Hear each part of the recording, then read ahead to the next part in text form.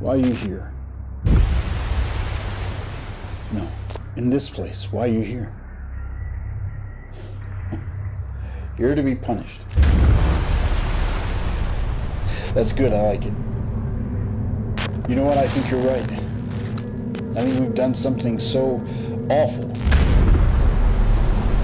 We are stuck here in this place, being judged by these people.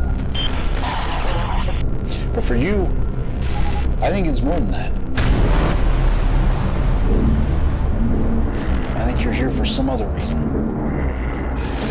And I don't want to be you.